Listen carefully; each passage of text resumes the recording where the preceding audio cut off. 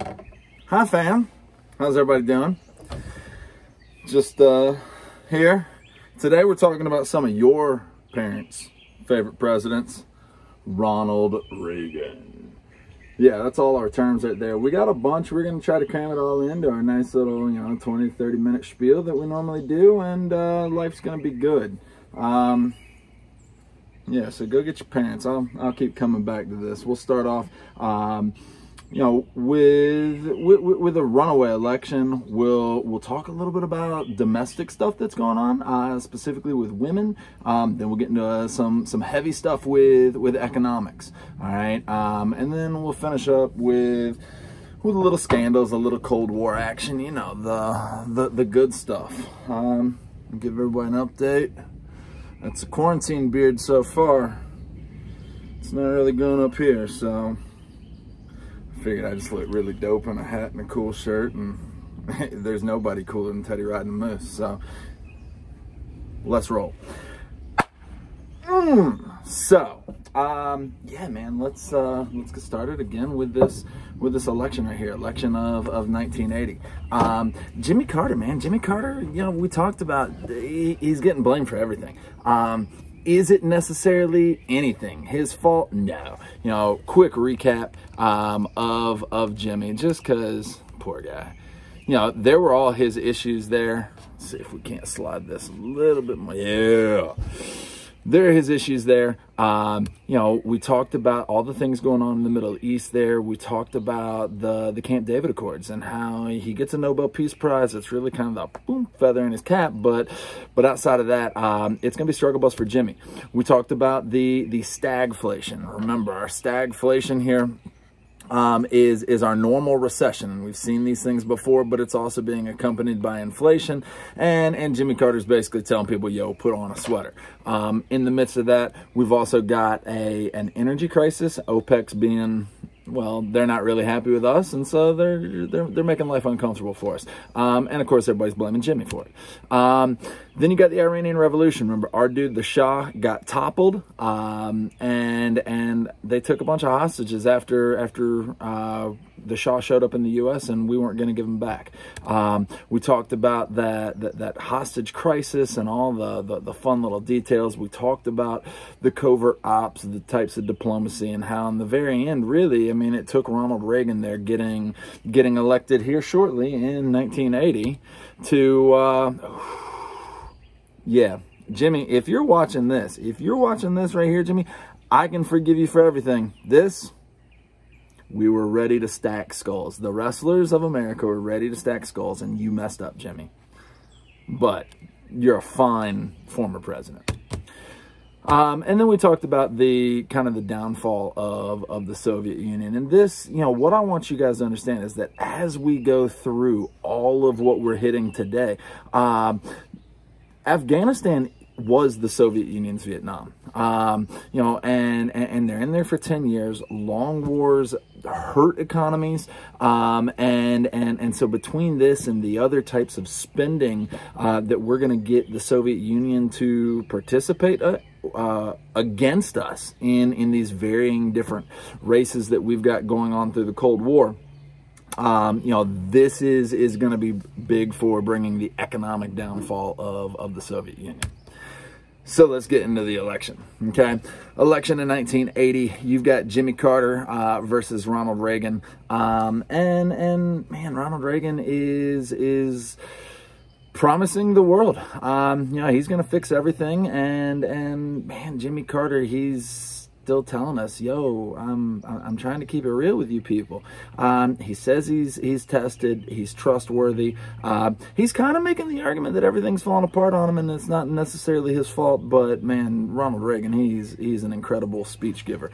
Um, no, he's yeah, we've seen him. Uh, remember, Reagan was the uh, president of the Screen Actors Guild way back in the uh, in the HUAC days. So you know now he's making a run. Um, he going into 1980, he had been the governor of California. We saw him in the uh, 76 election, um, almost defeating Ford. Um, but we take a look at this this election, and and man, you know, this is more of a vote against Jimmy Carter than it really is a vote for Ronald Reagan. Um, you can see, I mean, Jimmy's going to win Georgia, you know, because he's our hometown hero. Uh, Mondale was from Minnesota, so that explains that. And then all that stuff around, you know, what is that, West Virginia and Maryland? Cool. Um, Reagan's your president. Okay. Reagan's your president, um, and and we can see all the stuff that, that he's got to deal with. Um, even though he's going to be a two-term president, uh, I just threw it all in there as one. Um, now, we've got, you're going to see foreign policy, we've got SALT stuff, um, more strategic arms limitation talks. Um, we'll get to that. We'll talk Iran-Contra, we'll talk SDI, but I want to start off with the domestic stuff first uh, because that's going to be the most sweeping changes that we have is, is the economic changes that we have, but also a lot of social rollbacks. Um, you know, we, we had gone, you know, we talk about that pendulum swinging back and forth uh, in, in history from, from these great periods of liber liberalism to these great periods of conservatism. And, and really what we saw from FDR all the way to LBJ was that pendulum was, took a long, slow sweep into to the uh, liberal side. Um, and so it's going to swing back. You know, we, we saw the beginnings of it with with Rockefeller back, not Rockefeller, uh, Goldwater.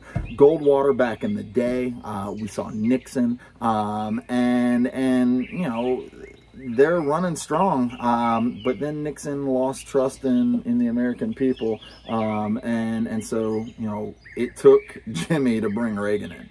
All right. Anyway, let's get into some of this stuff. Um, so we've got Bloop, bloop. There we go. We've got the election taken care of. Uh, let's start with the social rollbacks. Okay, the social rollbacks, um, and, and and and the person. Oh man, person I want to talk about is Phyllis Schlafly. All right. Um, Yo, you know, we can see it right there. CCOT on women. Uh, women have had a had a interesting run um, throughout U.S. history. Um, you know, just really in in the 1900s, what we're looking at here, um, women came in and didn't even have voting rights uh, at the turn of the century. Um, 19, what's called 1919, 1920, you get um, the, the, the, the 19th Amendment, you get the, the roaring 20s that brings in this ideal of the new woman. Then in the 30s and 40s, you kind of see this, oh, let's, you know, kind of go back to a more conservative look. Um, that that pushed into that that cult of domesticity in the 50s, um, and, and and then you know you had the women's lib movement um, of, of, of the 60s and 70s with with Roe v. Wade, with with uh, a, a big push for equal rights amendments. Okay. What you got to understand is, is, is is all women aren't libbers, man. Um, you know, you've got this woman, um, Phyllis here. Uh, that's her right here, by the way. There's Phyllis. Um, she was really, you know, the leader of, of, of the conservative woman. You know, we talked about Betty Friedan being the leader of of you know essentially third wave liberalism. Uh, you've got uh, Schlafly here, who who is leading women um, kind of back in that cult of domesticity. Um, she was outspoken against um, you know, she, she, was clearly against Roe v. Wade. We see that she's against an equal rights amendment. Um, and you can, you know, zoom in here and, you know, hit pause, zoom in at, at these signs, and you can see some of the fears, um, especially in the context of what's happening here in the late 70s, early 80s, uh, that, that, that, that Schlafly's gonna, gonna really run um, her agenda on. Okay, um, this really is going to start. You know, we, we talked about swinging that pendulum back into the conservative side.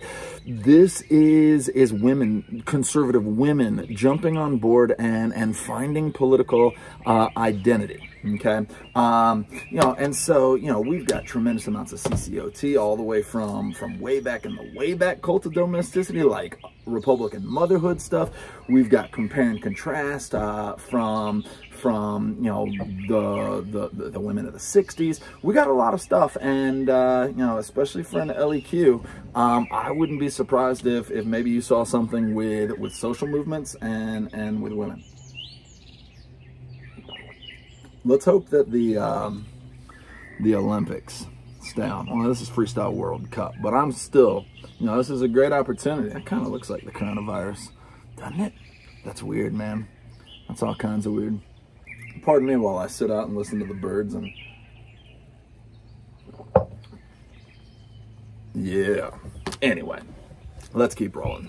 Okay. So, we knocked out Phyllis. We knocked out the election. Next thing, uh, supply side economics. Okay, uh, this is really what Reagan gets a tremendous amount of credit for, um, and and and honestly, it's it's it's the perfect time to make a change. Okay, it's the perfect time to make a change, um,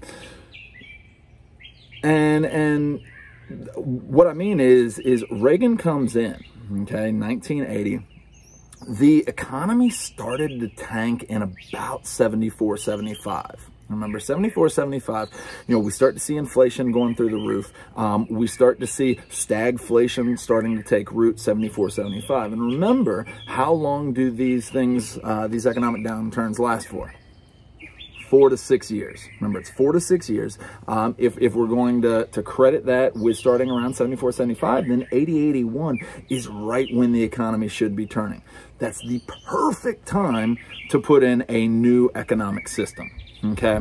Um, what Reagan is, is, is going to introduce is, again, what's known as supply side economics. Now, supply side economics has a lot of different names. You get supply side, you get trickle down, um, supply side economics, trickle down economics, and Reaganomics. If I use those words interchangeably, that's well because those words are are interchangeable. All right. The idea behind supply side economics is that economic growth can be most effectively created by lowering the barriers for the people who produce.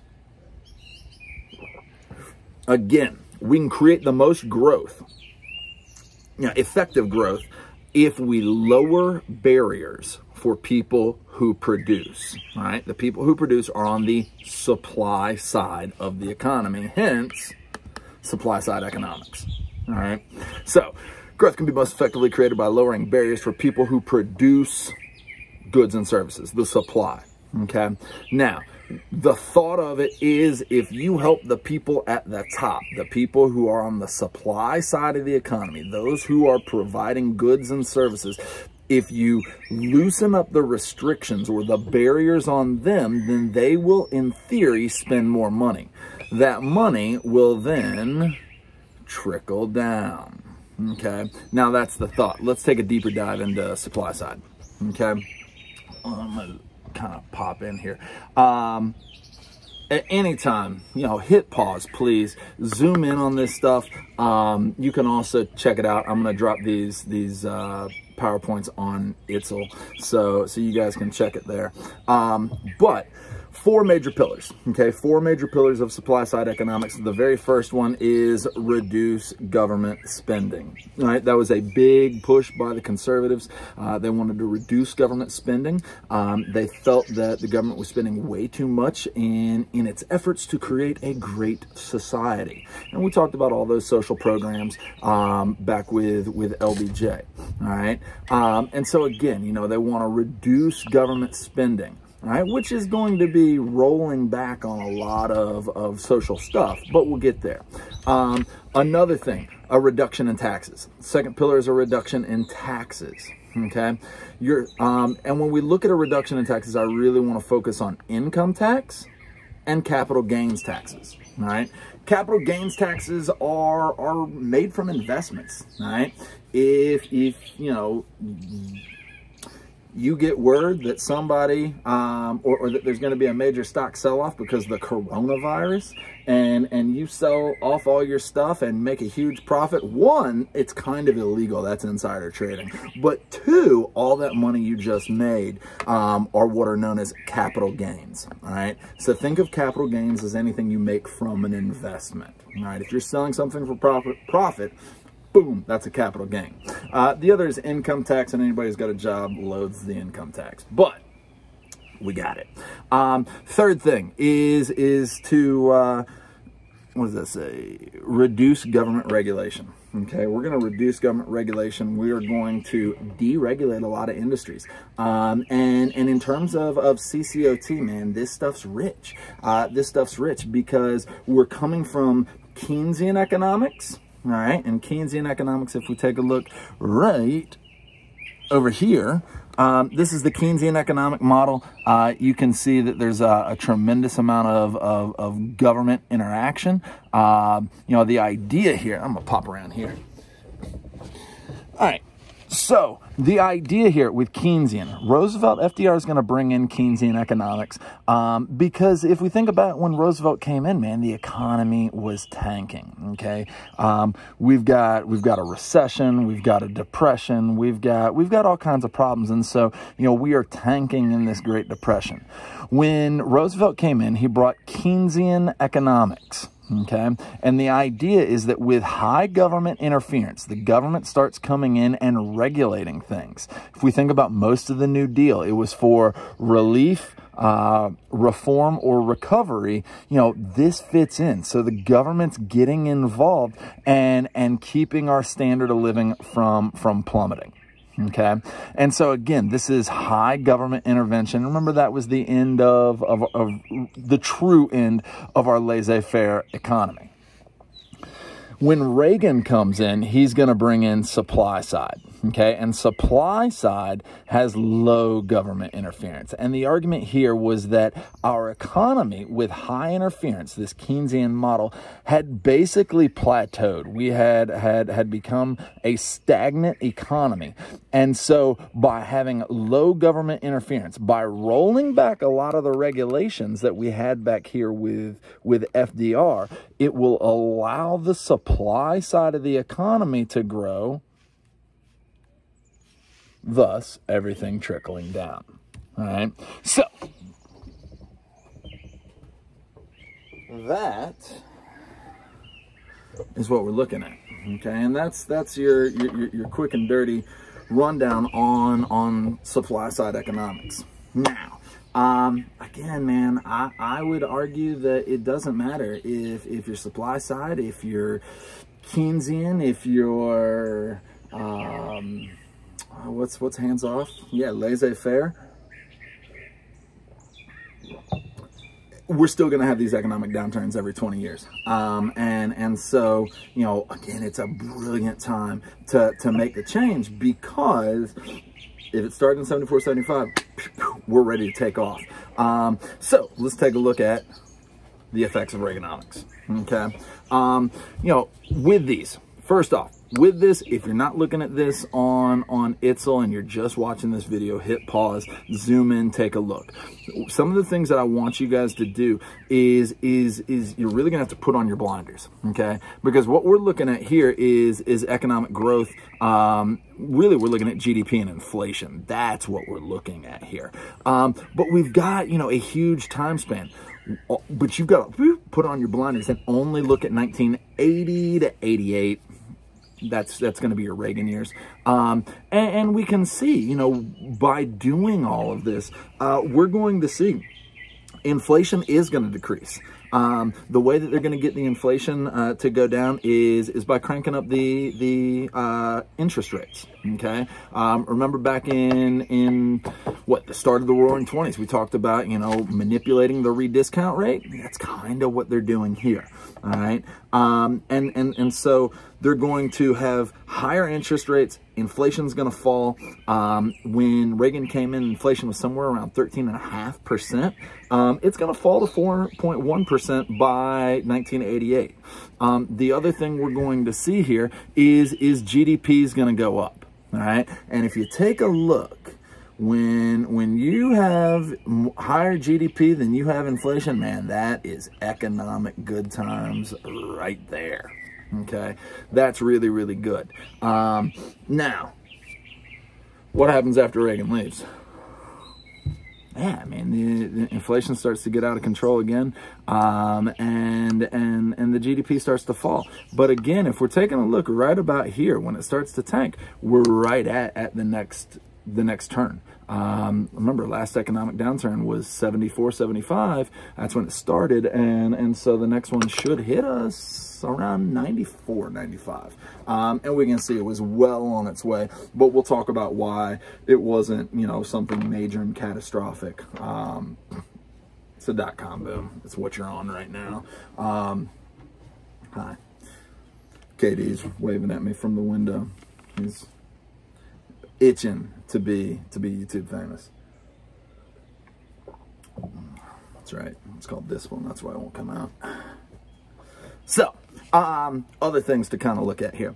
Um, reduction in taxes. Remember, that was that second pillar of, of Reaganomics, okay? Um, and, and, and again, put your blinders on and only look at, at 80 to 88 there. Um, but you can see, you know, in terms of a reduction of taxes, taxes went down across the board.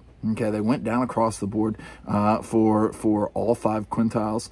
Um, looking at that stuff, um, unemployment's going to go back. Um, other things that we can take a look at is is you know poverty. Um, you know. It's kind of one of the the, the the, the sketchy things about supply side. Um, yes, the economy improves yes, uh, the uh, inflation goes down, unemployment goes down. All these things are exactly what you want to happen. Um, but poverty levels are also going to increase. Okay, um, poverty levels are going to increase um, across the board. I'm gonna pop back around here so I can point and look and manipulate and do all that fun stuff. But again, if we're looking at, at, at our Reagan years are from 1980, we'll call it to 1990, um, you know, we can see a, you know, a tremendous growth, okay, a tremendous growth across the board in in in under 18 over 65 and and your mid-range folks here. Everybody's you know poverty rates are gonna go up um, in there um, you know, but one of the things I want you to take a look at is is you know the 70s. Okay, you know, coming out of the 60s and into the 70s, poverty rates were significantly declining. Why? Mm-hmm.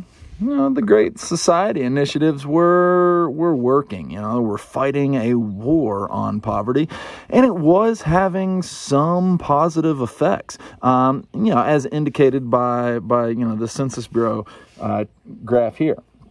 Um, and, and and what we've got here with with with everybody else. Um, well number one 65 and under is going to continue to trend down. Um, and that's going to be big for your 65 uh, and older. And and there's a reason why. One the 65 year olds that are are retiring at this point are now pulling social security Okay, and so that'll be big to help kind of uh, keep that burden. But also, old folks are cashing in. Okay, they're cashing in on on on investments so that they can retire, and so what we're going to see is for old people, um, poverty rates are, are are going to decline significantly in the Reagan years, um, and that's definitely going to keep uh, the, the the old folks voting voting conservative for a long, long time.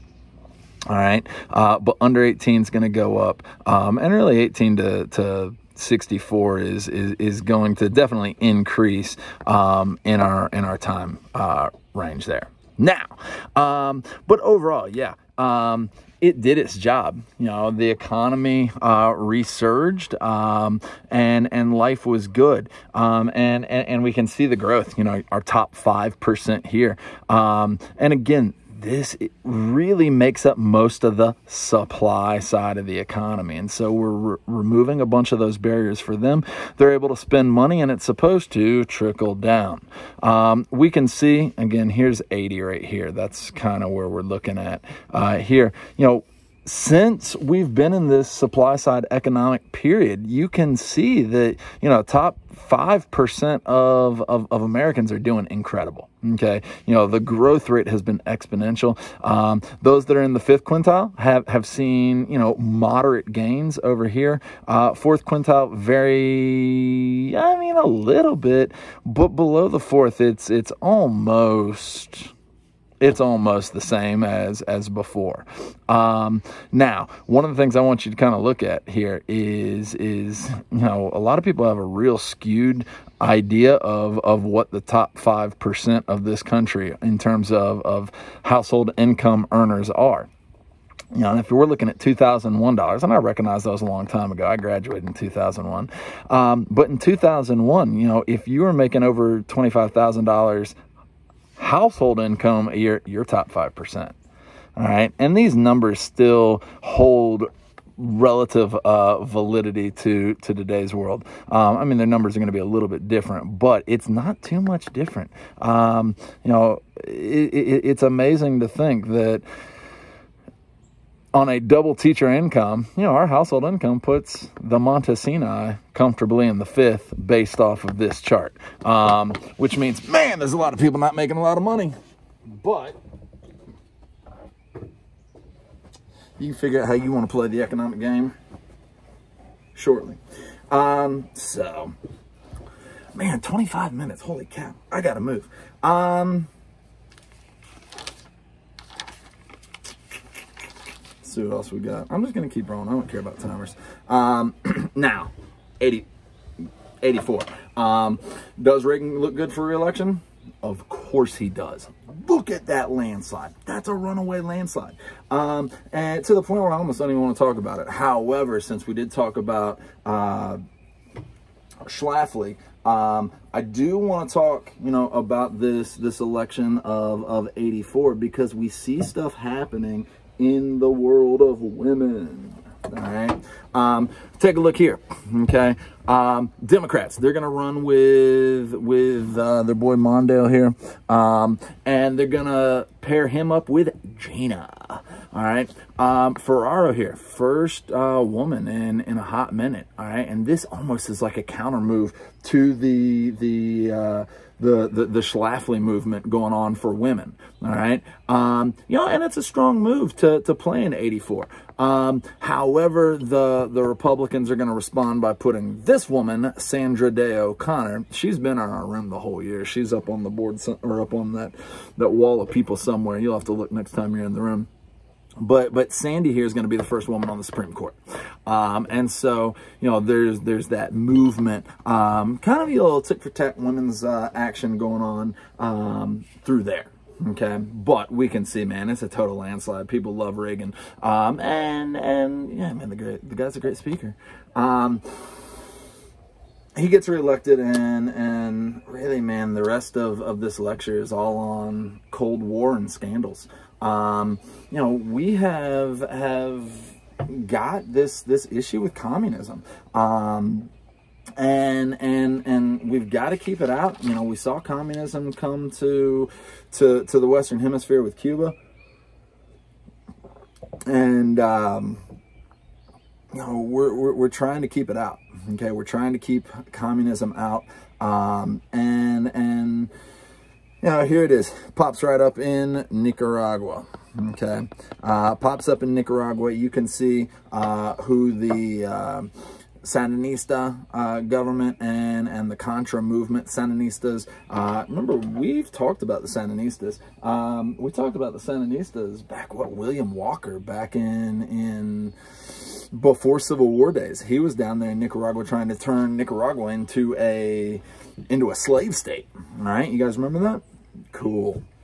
Um, now they've been beefing with us ever since, ever since. Um, but the, uh, the, the, the Contras, all right, is the rebel group fighting the Sandinistas. Now, U.S. Congress, Congress has prohibited, they passed, the, they passed legislation saying that the United States could not help the Contras in Nicaragua because even though we can see Reagan, man, he wants to end communism everywhere. He's got a cool T-shirt that says it.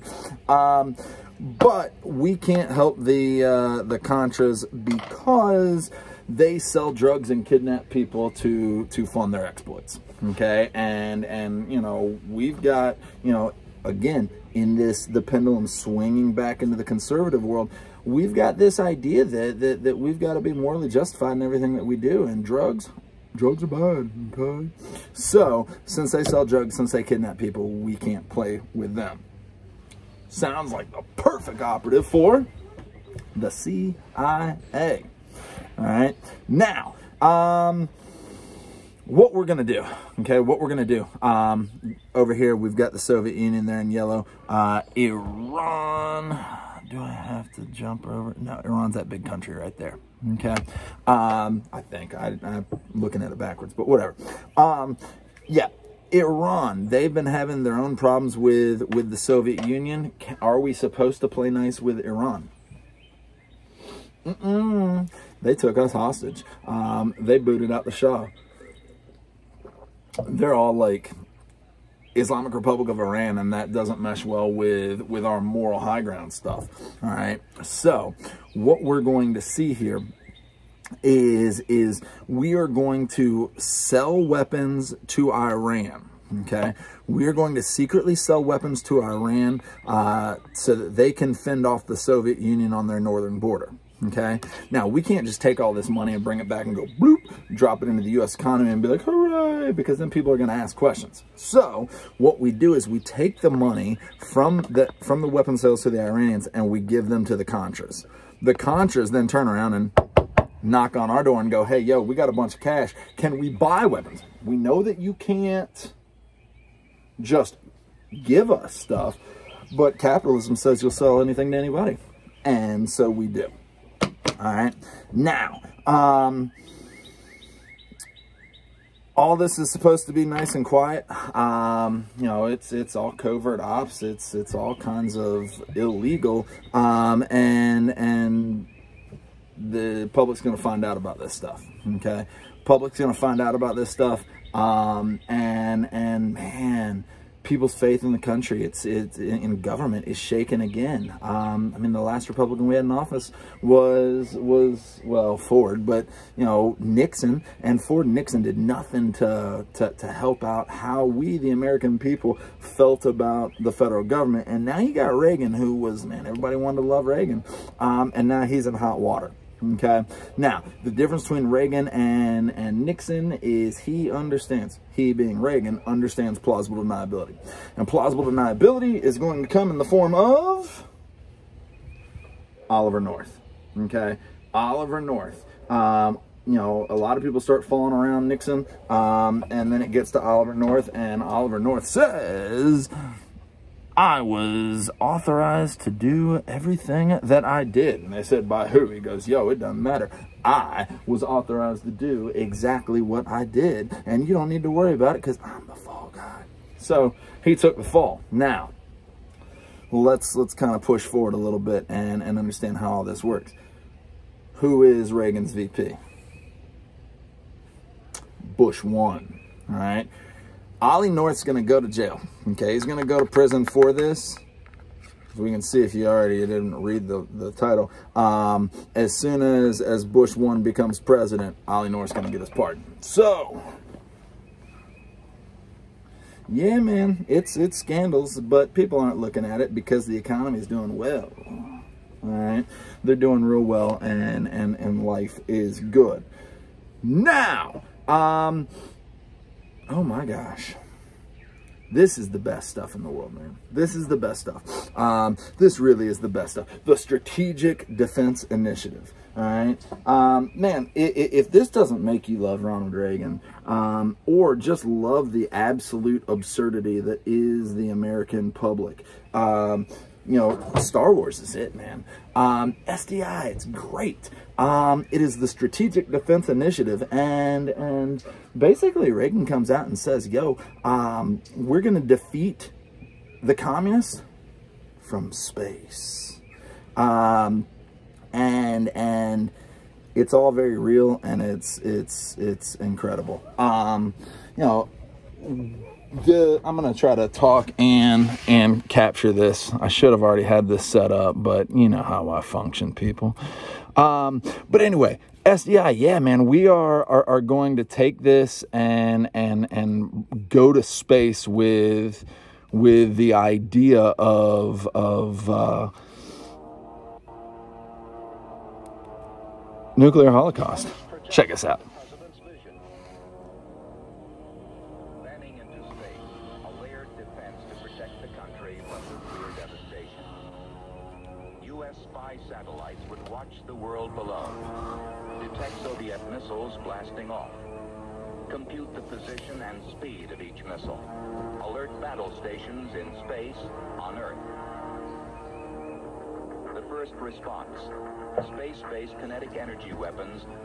High-speed projectiles from hypervelocity guns, Kinetic energy. intercepting enemy missiles as they are boosted through the atmosphere.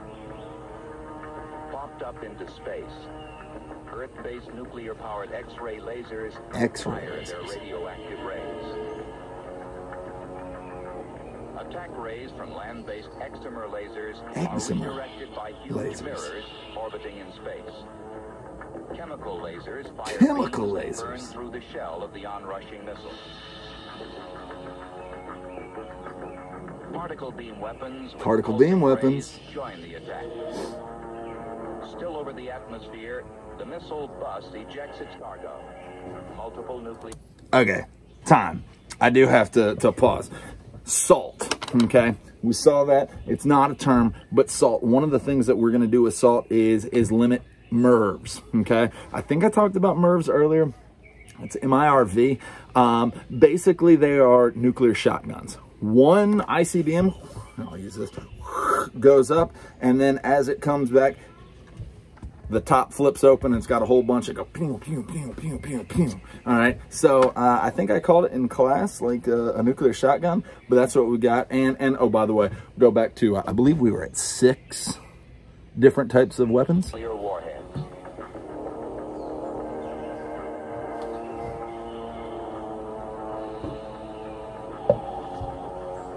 And yes, this As is the remaining Soviet missiles now arc towards the U.S., ground-based projectiles are volleyed into space. Their giant steel ribs shatter the enemy weapons. rebar. The final minute. The surviving warheads enter the atmosphere above the United States, are attacked by laser-equipped planes. Lasers on planes. Lasers and ABM rockets eliminate the last warheads. That's right. The administration's original claim for the Strategic Defense Initiative was that it would be a perfect defense a perfect defense um yeah man so we're going to defeat communism from space that's sdi um, a lot of people commonly call it Star Wars uh, for obvious reasons. Um, remember, Reagan's a movie star, man. Guess what movie's out? Yeah, it's Star Wars. And so people think, oh, it's possible, you know, the Death Star. He's also using a tremendous amount of bellicose rhetoric. He's calling in the evil empire. He's doing all these things he, he, he's he's crafting symbols and and and he's getting the Soviet Union to believe that this is real. In fact, a lot of Americans thought this stuff was real. Um, you know, you know, go hit pause. Go go talk to your parents. Ask them if S- SDI was real. And they're like, "Oh, Star Wars? I wonder what happened to that. You know, Space Force now." You know, okay, Karen. Um, by the way, I kind of think that like that old Phyllis Schlafly, that's Karen's mom. All right, so you know, I wouldn't put that in an essay, but if you say it, you might get somebody to chuckle. Um, anyway, um, yeah, man, this this SDI would be huge, and and it would bring down, uh, well, it would cause the Soviet Union to try to spend money that they don't have to keep up with us, um, and that's going to be a, a, a big effect in in crippling the Soviet Empire. All right, now.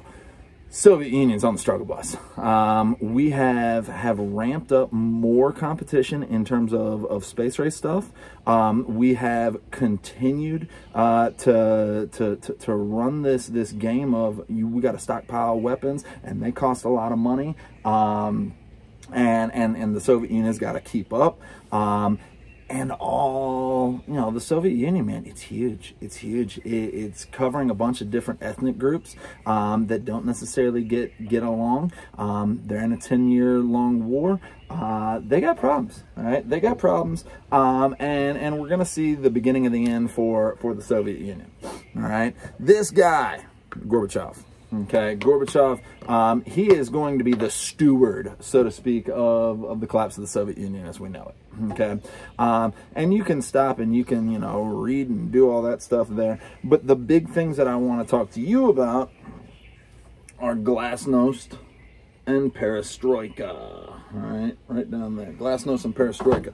Um, Glasnost and Perestroika um, are, are, are, are two different things. Um, glasnost, openness, okay? Um, it, it, it's an openness of government. Uh, the Soviet oligarchy, as it was, was basically doing whatever they wanted and and the people had no voice and and and so what we're going to see is this period of glasnost uh, where it's this openness it, it, it the the the Soviet government becomes I don't want to say transparent, but they do begin to reveal their hand a little bit about how how their decision making process is going. Um, at the same time, you've also got perestroika. Okay, um, and as it says there, perestroika is is really the restructuring of the Soviet society. Um, it's going to begin where they're going to to release the satellite states um, to their to their own autonomy okay. Um, and so that stuff's going to be big. Um, we're not really going to get the full disintegration of of the Soviet Union until uh, we really get in with with Bush one which will man I don't know. You can either read or it'll be another lecture. Um, but, you know, that's really what we've got going on during the Reagan years. Um, the last thing that I want to to hit you with, uh, with, you know, really it's kind of more 80s than it is just Reagan. Um, but but it's style, it's technology, it's, it's, it's society and how people are dressing and behaving. You've got the emergence of yuppies all right yuppies aren't just rich white kids um, in the 80s it was young urban professionals it was an acronym and and you can see how the yuppie was supposed to dress um, in terms of technology. You know, we got a personal computer that you don't have to have air conditioning. Of course, everybody's got AC at this point, but you know that's the real stuff, man. Take it from an '80s kid, man. It, this it was either green or it was orange um, but it gave you some of the best games. Um, Oregon Trail, uh, Dino Park Tycoon, uh, Minesweeper. Yo, like, don't even at me with that stuff. You know, I will crush all you children in all those games. Oh, and by the way, that's your that's like your OG cell phone. Um, but, you know, we, we think a cell phone's put in our pockets. This is what we called a car phone. That thing did not leave the car, and don't even get me on text. Um, you know, I remember talking on the phone as a kid, and like every like minute, every minute on my cell phone. And by the way, yeah, my cell phone was actually, I think, probably larger than that when I was in high school. But every minute you'd hear like a beeping tone uh, because it charged you by the minute. Um, and it was crazy. Like, like, I mean, it was crazy how much, how much they charge you. And then don't even think about text because you're paying like, you know, almost a dollar for every icon you know, for every letter that you use. Um, but, you know, it, it's getting us, us closer to where we're at today. Um, and you can see the yuppies and they're all driving their Porsches and, and whatnot. Um, but yeah, that's it, man. Um, that's your 1980s. Um, and it's all kinds of weird and, and, and, and groovy and fun and created greatness but yeah, um, make sure that you guys are doing your work. Uh, there is, you know, potentially some incredible changes to the AP exam this year because of COVID. Um, I'm not going to drop that on you right now. I'm sure you guys have all heard rumors. Um, and you know how I feel about rumors. I'm going to wait till I get some actual hardcore facts um, to drop on you, Jack, uh, before I, I, let you know. But, um, yeah, it's gonna be it's gonna be weird and it's gonna be all kinds of different. I hope you guys are having a good break. Um, if you need anything, holler at me. Um, use Remind, use all the comments, the like, subscribe. You know, you can DM me on you know a lot of different things, including my email. So, um, to everybody who stayed with me through this whole really really long video, I appreciate it. Y'all have a wonderful rest of your day.